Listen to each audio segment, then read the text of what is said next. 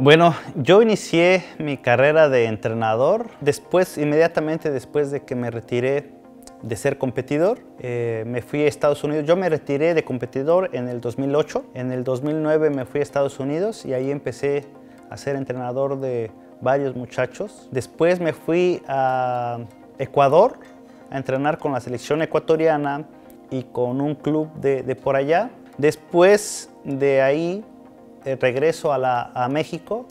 Soy el entrenador de la selección mexicana de taekwondo de la categoría de cadetes, de juveniles y de adultos. Y posteriormente, ya cuando termino un ciclo con, con la selección de México, es cuando vengo aquí a Egipto. Dentro de mi carrera deportiva, este, he ganado, sobre todo con México, gané 10 medallas de campeonatos mundiales, 2 medallas de campeonato eh, olímpicos de la juventud y bueno, ahora dos medallas de bronce de, Juegos Olímpicos de mayor, ¿no? con la selección ya de Egipto. Y me siento muy contento por este logro.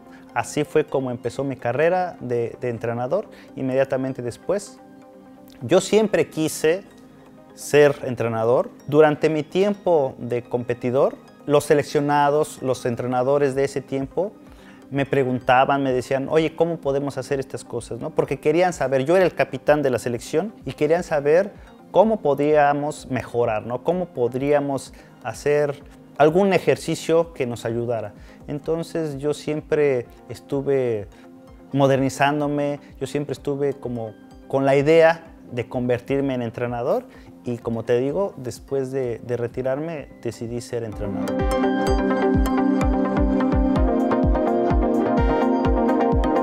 Eh, siempre también fue uno de mis sueños el poder salir a otros países a ejercer obviamente eh, lo que hago, ¿no?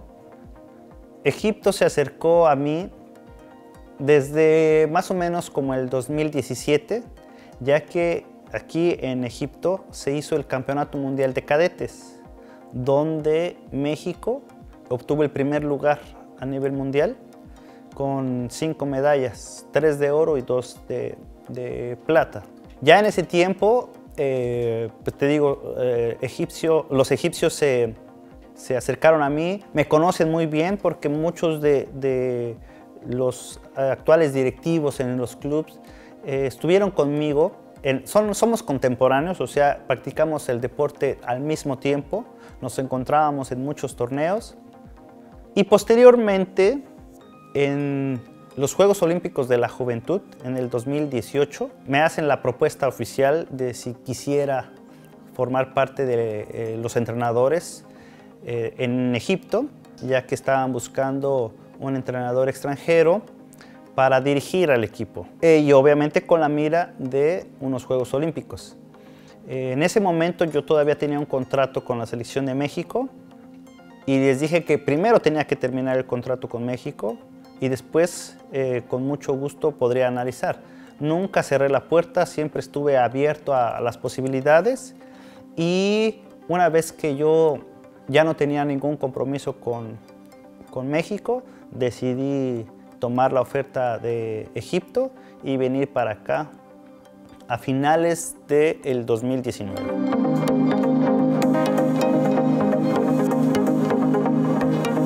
Mi contrato ahorita es, ah, fue establecido hasta un mes después de los Juegos Olímpicos, o sea, termina ya a finales de este mes.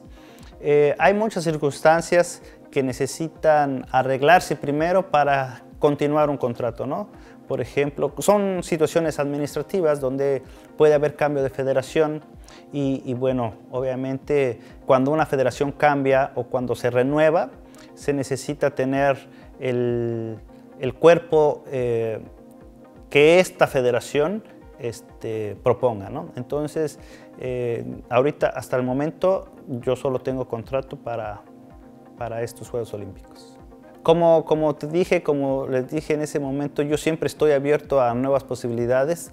Obviamente aquí en Egipto eh, los resultados que se han dado son excelentes, los atletas son extraordinarios, eh, me trataron muy bien tanto la federación como los mismos atletas. Entonces, claro que mi ilusión eh, sería poder continuar para eh, los Juegos Olímpicos de París. Sin embargo, te digo, hay que esperar a ver qué es lo que pasa y, y como te digo, las puertas están abiertas en cualquier momento.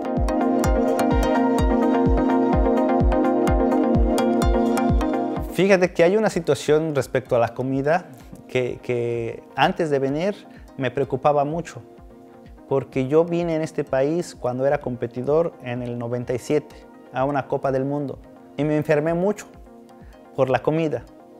No sé qué habré comido, pero me preocupó el regresar aquí y pensar que me iba a pasar lo mismo. Sin embargo, eh, me di cuenta de que tienen cosas muy ricas me gusta, me encanta la pasta, me encanta la comida del mar que hacen. Me gusta mucho también este, la comida obviamente típica le dicen oriental, como, eh, ¿cómo se llama? Este, se me olvidó el nombre de la carne que tienen así como en, un, como en un tubito. Shawarma, me encanta. Y, y bueno, este, me pude adaptar muy fácil a esto. Afortunadamente no tuve problemas con la comida. Las personas son muy amables, en la calle son muy simpáticas.